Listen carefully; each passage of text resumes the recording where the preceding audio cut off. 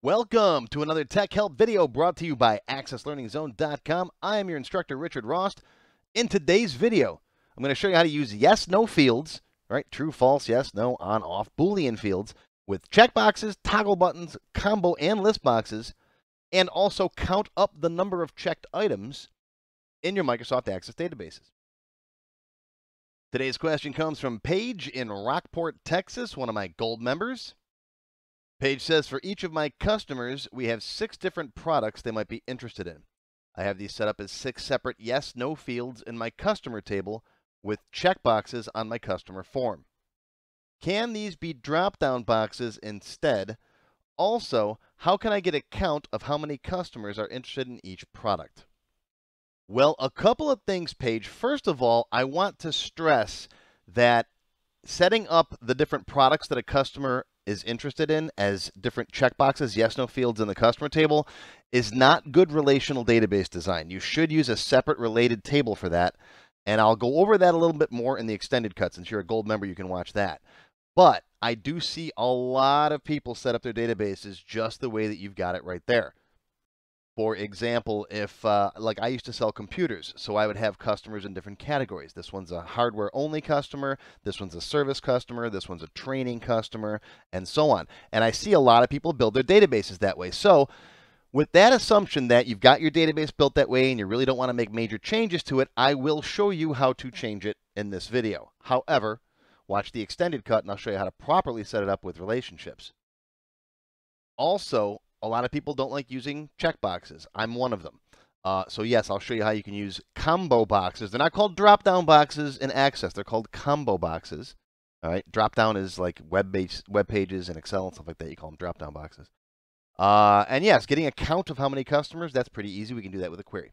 So let's see how this works. Okay, so here I am in my Tech Help free template. This is a free database download off my website. You can go grab a copy if you want to. You'll find a link in the link section down below the video in the description. You got to go down, and click on that thing, and you can find a copy of this. Now, I've got a customer form, and I've already got an is active checkbox in there, but let's add checkboxes in the customer table just the way Paige has them. Let's do the example that I mentioned earlier. Let's say I want to track my different customers and put them into categories. So this one is is hardware. Is this a hardware customer? There'll be a yes, no value. Is software? Yes, no value, right? Is training? And, oop, training Q. Nope, training. Q doesn't do, oh, Q does do training, doesn't he? And is service, let's say. We'll do four of them. Okay? And again, I strongly recommend you make a separate category table to track this information, but that's going to be in the extended cut. This is not considered good normal database design because you have to make major changes to the design of the database to add another topic. What happens if later on you decide you want to do seminars, let's say, and you want to put an add an is seminar customer, right? And, and track that for all your, your clients. Well, now you got to change the table, you got to change all the related queries, you got to change the forms, you got to change the reports. Whereas if you just had to add a record to a category table, then uh, that's simple to do, and you don't have to have design access to the database. Now, a few things about yes, no values. All right, there's a format down here. You can change this if you want to. They can either be yes, no, true, false, on, off. It's all the same thing. It doesn't matter. Access doesn't care. Okay, yes, no is the default. You can put a default value down here of no or yes, whichever you want it to be. Another reason why I like I try to avoid yes, no values is because they don't offer a null option. It's either yes or no. So what if you have data that you, you don't know the answer? Like, for example, let's do sex, right? Someone's sex, all right, male or female, or you might not know. Okay, if it's a new client and you you know you you get their information by email and it's a, the name's Chris, you don't know if it's male or female. So you you have to pick one or the other, but you don't know the data. So I I actually try to avoid yes no fields for a lot of things if possible. I use a number value, right? You can do one, zero, or null. Now here's something interesting. If you go over to the lookup tab down here, you can actually change the display control. The default is checkbox, but you could change it to a text box or a combo box. I don't like doing this at the table level. I like to leave these alone. If you want to display this with a combo box or a text box, do it in the form, but I like to leave the table alone at checkbox. Just trust me. You don't want these kinds of definitions in your tables. That's just my preference. Okay, so we're going to leave this as checkbox here. Okay, so save this, Control S, close it down. Now, if we go to our customer form, okay, right click, design view. Let's open up the form design up here. add existing fields. Let's make some room for these. We'll put them, let's just get rid of notes for now. We don't need that. All right, I'm going to click on is, act, oh, no, we already have is active. Click on is hardware, shift click on is service, and then click, drag, and drop them all there. So now I've got checkboxes for these guys. Save that, close it, open it up, and there's your four checkboxes. Okay, and yeah, you can change the labels if you want, right? You can come in here and say, you can get rid of the is. I like to start all my yes, no values off with is.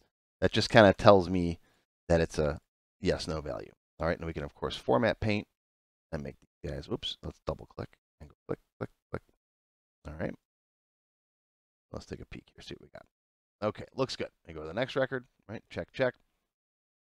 Now, there's a couple of different ways you can display these very easily. All right, hardware, for example. Right click on it, go to change to.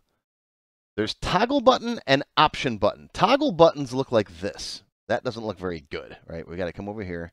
We can drag it like this. Okay. Take the word hardware, get rid of that label, and you can put the label right on it as a caption. Just click on it and go hardware, like this. All right, and then you can do the same thing with software. Delete the label, right click, change to, toggle button. I don't know why it comes in like that. That looks ugly. I also don't like these themes. This blue with the the swirly, I don't know. That's just me. I'm old school. All right, so there's hardware, there's software, and you can arrange these as toggle buttons. I'm not a big fan of toggle buttons either, though. I'll be honest with you. Like, it's hard to tell which one's pushed on and which, which one's not right? Now, in the extended cut, I'm going to show you a trick as well. When you click on it, right, I, we can have it say like, you know, uh, like we can do invoice and quotation, right? Change the caption there. You could say hardware yes or hardware no. Change the, the, the, the font color. Okay, I like using the old school buttons though. So if you open up the properties for this guy, go to where it says use theme and change that to no. I like these old school looking buttons myself. Save that, close it, Open it back up. These look like they're pushed down. Then you can tell more easily. Hardware, software. Okay. The other one, option group. All right, right click, change to, right? Option button requires an option group. That's where you can have, you know, a few different options visible and you can pick from them. I usually don't use that with yes, no values. Usually I'll use that if there's like a, a an option that's like three or more values, like you're picking a shipping type, FedEx, UPS, you know, US mail, that kind of thing. I'm going to do a separate tech help video on option buttons because a couple of people have asked me questions about that. If you want to learn about option groups right now, I cover them in Access Expert Level 4. Lots of stuff in here. Uh, these things, these are toggle buttons, right? This is an option group. We got a list box. I'm going to show you a list box in a second. Okay. And yes, in the extended cut, I'll show you how to change this a little bit more to make it more in your face that this button's pushed down. All right, so that's all you can pretty much get to with the right-click change to, but you can display these in a text box or a list box or a combo box as well. Let's delete these guys. Get rid of these. All right, let's put this here as a text box. I'm just going to copy one of the other ones. I'm going to copy family size, copy, paste. All right, slide it up here. All right, and then you could change the control source over here to is hardware. All right, copy, paste that in the name as well. All right, change the label, hardware. Okay, and now when you save it and close it and reopen it, you'll get a false in there. Okay, you could change the format too.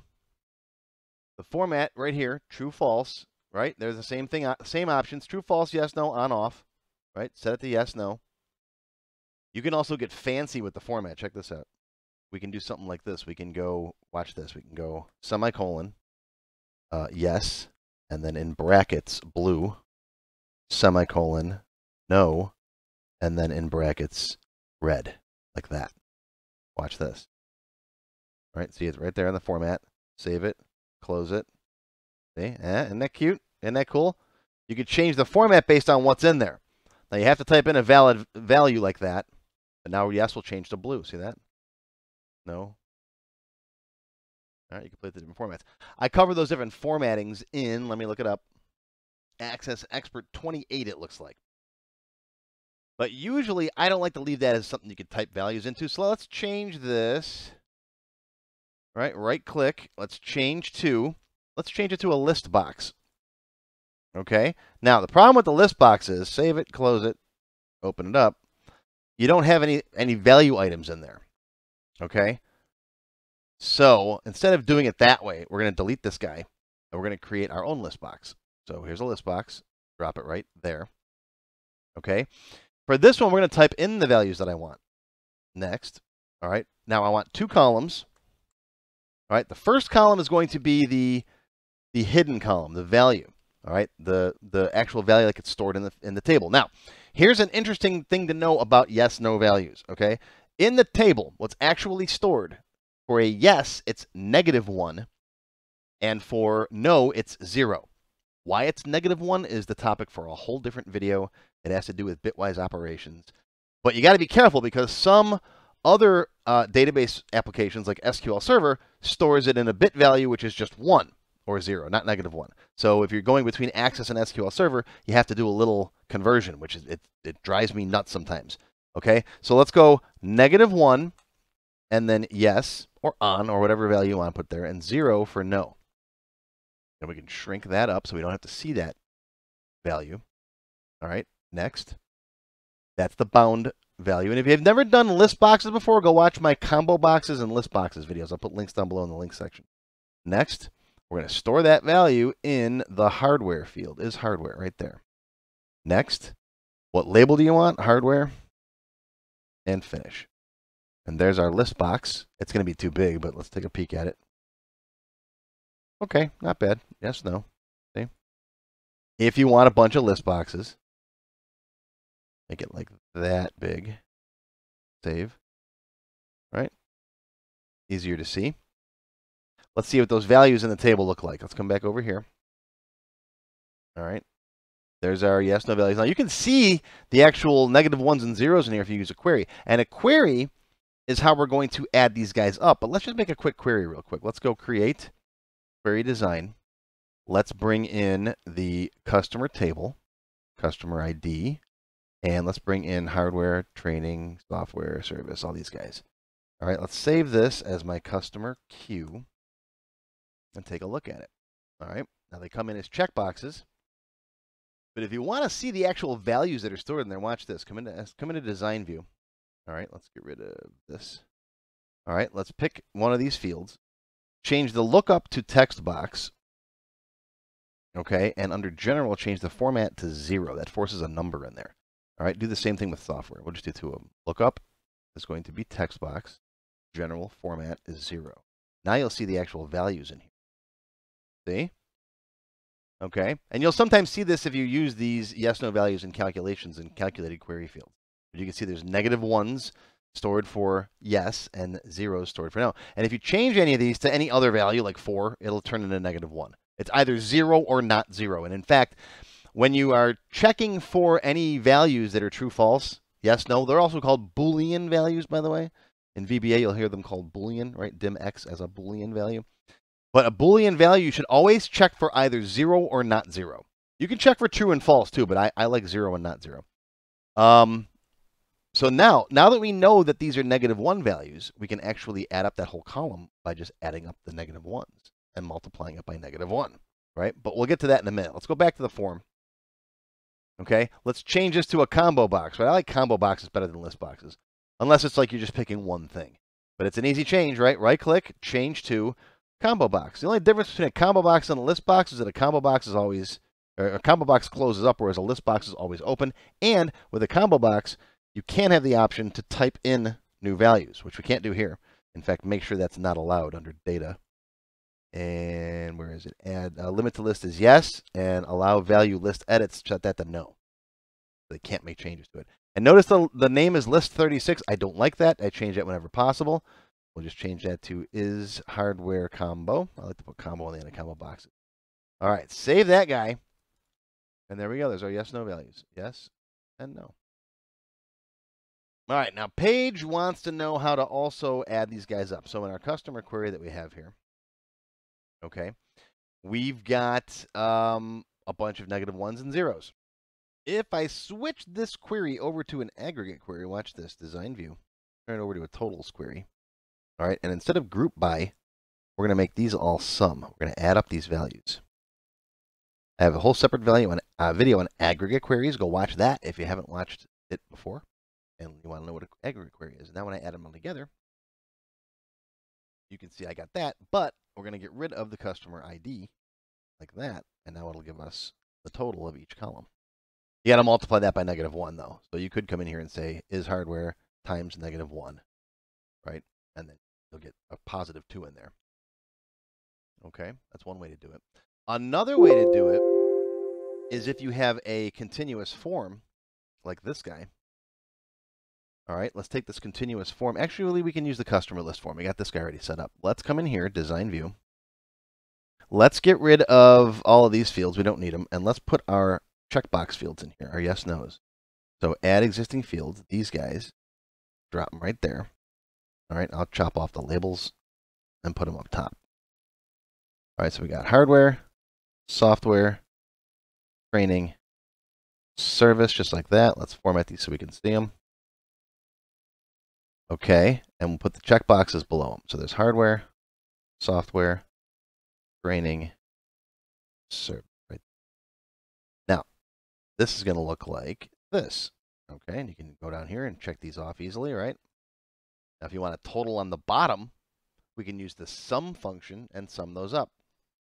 I covered this in my form footer totals video. I'll put a link to that down below as well.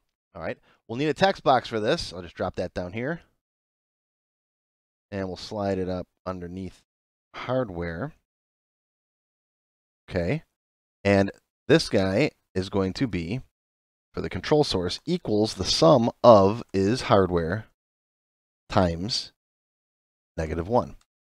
And we'll change the name to sum hardware. All right, let's take a peek. Look at that. See? Two. Right? And if you change it, see, it updates. You have to leave the record for it to update. See, if I just check that, it doesn't update. All right? As soon as I leave the record, the form footer totals will update. You could put a manual refresh in the after update event or the on click event for these boxes, but that's usually going beyond what most people want to do. So you just copy this, paste it, all right, a couple times. and you'll change what's in there. So this will be is this one here is uh, software, right? Sum software is training, sum training, and is service. Sum service, and I know you can't see this easily, so let me zoom in. There it is right? Sum of is service, and I have no spaces in my field names, right? No space. It's not is service. It's not is underscore service. It's not is dash service. Don't use any characters in your field names, in your table names, in your query names, except letters and maybe numbers. But I even I try to avoid that, right? Don't have group one, group two, group three, group four as field names. If it goes beyond three of something, it should be in a separate table. But don't use spaces in there. Access will automatically put these brackets around sometimes, but you don't need them. Okay, and it, trust me, you'll see. You'll. I, I go over this in Access Beginner One. You will save yourself a lot of headache if you don't put spaces in your field names. And people always argue with me, and, I'm, and that turns out I'm right. Especially once you get into programming and developer level stuff and SQL. Those spaces, those underscores, those dashes, those question marks. I went to an. I, I hate to. I hate to rant, but I went to another. Uh, I, I want to say one of my competitors, but not really. It's no one competes with me. I'm the best. No, I'm just kidding. I'm just kidding. I'm just kidding. I'm um I went to a, another Access training site and they had a field in there that was uh, W2 as the field name for the customer if they've collected a W2 or not. And it was W hyphen 2 question mark as the field name. And I'm like, "No. You don't do that." I could tell whoever was teaching that didn't hadn't spent a lot of time with real-world databases. There's a lot there's a lot of pain in that field name. All right. Um, so we're gonna center all these guys, save it, close it, open it back up. Boom, there you go. There's all your totals. That's how you add up the totals of the checkbox. So I hope you learned something. I hope that uh, this was of use to you. A lot of people set up their databases this way. Paige, don't feel bad. I see this all the time, especially with insurance salesmen. I've seen them do a lot of these, like you know, is broker, is this, is that you know, or they have separate products. And and you know, you might have like your business might be these four things and it almost never changes. It might not change in 10 years. Okay? But when it does, Now look at all the all the stuff you got to change. You got to change all the tables. You got to change all the queries. You got to change all the forms, all the reports. So in the extended cut, I will show you how to make these groups as as a separate table and how to store that properly with a form and a subform relationship. And I'll go one step further. I will show you how to take this database Paige and fix it so that we'll take all this existing data and make the new records for it in the properly related table. So we'll fix it. So I've done something similar to this in a past video. I, I had this groups video where I did cover something like similar to this. So we'll take it one step further. I'll show you how to how to unmess this database up and do it right without using these checkboxes. Okay? Okay, so that so that. If you want to learn more in the extended cut for the members, I'm going to show you how to change button properties. For these guys, right? It says no hardware, click on it, hardware. Change the font, make it blue, right? See how they work? Right? That's pretty cool. And it'll work when you go from record to record too, like that, see? Then we will set up proper groups and convert the yes-no values over to the grouping system. The proper way to handle this kind of setup is relationships, right? So I can say, okay, hardware. That way, if you want to add new stuff like advertising or internet service, it's very easy to go to your group table and just add another group in here. And now that'll show up in your combo boxes instead of dealing with these yes no buttons. Because now you got to modify tables and queries and all the forms and all the reports and everything. No, don't put yes no values in your customer table like that. Then I'll show you how to use some query action to take the data that you already have wrong in your customer table and create those groups for the you know tens of thousands of customers you already have in the database. So you don't have to go through and do that all by hand. That is all covered in the extended cut for members. Silver members and up get access to all of my extended cut videos. We've got like 230 of them now, so there's a lot. Been doing this for almost two years. Gold members can download these databases that I build in these tech help videos. There's lots of those too, all on my website. Um, and you get the code vault and you get extra courses and all kinds of extra perks. So if you're curious, click on that join button. And to learn more, well, here it comes. How do you become a member? Click on the join button below the video. After you click the join button, you'll see a list of all the different membership levels that are available, each with its own special perks.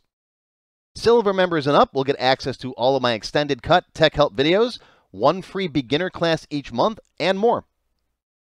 Gold members get access to download all of the sample databases that I build in my tech help videos, plus my code vault, where I keep tons of different functions that I use, You'll also get a higher priority if you decide to submit any tech help questions to me, and you'll get one free expert class each month after you've finished the beginner series. Platinum members get all the previous perks, plus even higher priority for tech help questions, access to all of my full beginner courses for every subject, and one free developer class each month after you finish the expert classes. These are the full-length courses found on my website, not just for Access too. I also teach Word, Excel, Visual Basic, and lots more. You can now become a Diamond sponsor and have your name or company name listed on a sponsors page that will be shown in each video as long as you're a sponsor. You'll get a shout out in the video and a link to your website or product in the text below the video and on my website. But don't worry, these free tech help videos are going to keep coming. As long as you keep watching them, I'll keep making more and they'll always be free. If you enjoyed this video, please give me a thumbs up and post any comments you may have. I do try to read and answer all of them as soon as I can. Make sure you subscribe to my channel, which is completely free, and click on the bell icon to select all to receive notifications when new videos are posted. Make sure you click the Show More link down below the video to find additional resources and links. You'll see a list of other videos, additional information related to the current topic, free lessons, and lots more. YouTube no longer sends out email notifications when new videos are posted, so if you'd like to get an email every time I post a video, click on the link to join my mailing list. Even if you don't want to become a member, feel free to donate to my tip jar. Your patronage is greatly appreciated and will help keep these free videos coming. I got puppies to feed. Now, if you have not yet tried my free Access Level 1 course, check it out now. It covers all the basics of Microsoft Access. It's over four hours long, and I just updated it for 2021. You can find it on my website or on my YouTube channel. I'll include a link below that you can click on.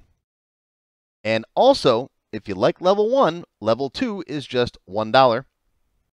Yep, that's all. $1, and it's free for all members of my YouTube channel at any level, even supporters.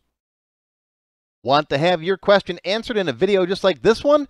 Visit my tech help page on my website. You can send me your question there. While you're on my site, feel free to stop by the Access Forum. Lots of good conversations happening there. Be sure to follow my blog, find me on Twitter, and of course, YouTube. Once again, my name is Richard Rost. Thank you for watching this Tech Help video brought to you by AccessLearningZone.com. I hope you enjoyed this video and that you learned something today. I'll see you again soon.